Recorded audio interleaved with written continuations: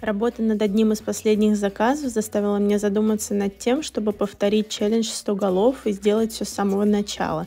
Дело в том, что мне недавно заказали иллюстрацию, на которой нужно изобразить несколько детей.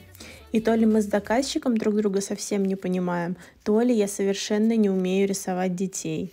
Я целую неделю перерисовывала одно и то же детское лицо, поэтому теперь думаю заново сделать челлендж, но только с детскими лицами.